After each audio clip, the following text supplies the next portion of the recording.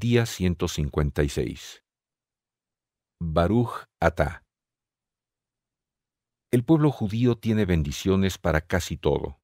Bendiciones para la comida, bendiciones para encender las velas, bendiciones para los días santos y para cada día. Y el comienzo más típico de una bendición hebrea son las palabras Baruch Atá.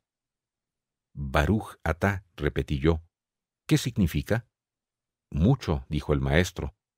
Atá significa tú. Las bendiciones están enfocadas en la palabra tú. Así, la primera revelación es esta. No podemos relacionarnos con Dios solo en tercera persona.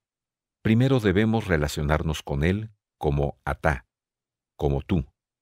Primero debe relacionarse con Él directamente, personalmente, de uno a uno y de corazón a corazón, no simplemente hablando acerca de Él, sino hablando desde su corazón directamente a Él. ¿Todo eso de una palabra? Y más, dijo él. La bendición debe comenzar con Dios. Dios es primero y todo lo demás es segundo. Esto es crucial. Cuando usted ore, no deje que sus problemas o incluso sus peticiones se conviertan en lo primero, en su enfoque. El enfoque y el comienzo de la bendición hebrea es la palabra atá, tú. La bendición no está centrada en mí, sino centrada en atá.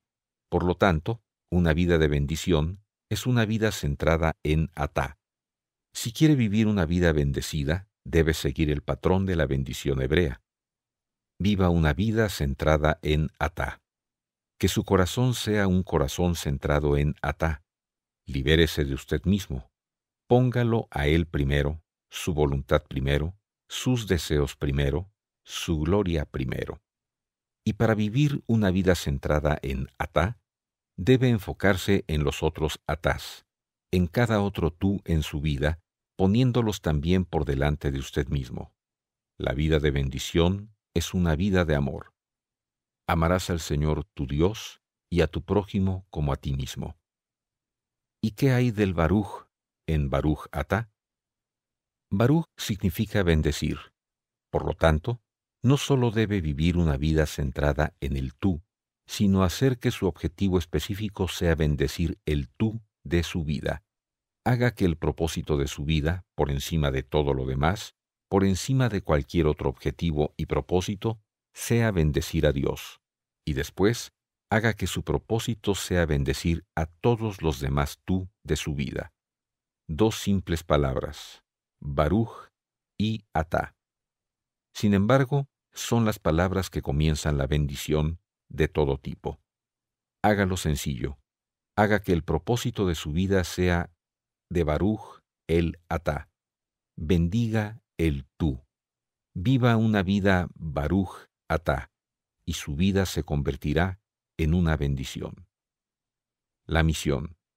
Centre su corazón hoy en dos palabras, Baruch y Atá. Propóngase ser una bendición. Viva no para el yo, sino para el Atá, el tú. Salmo capítulo 103. Mateo capítulo 22, versículos del 36 al 40. Una guía de los Baruch.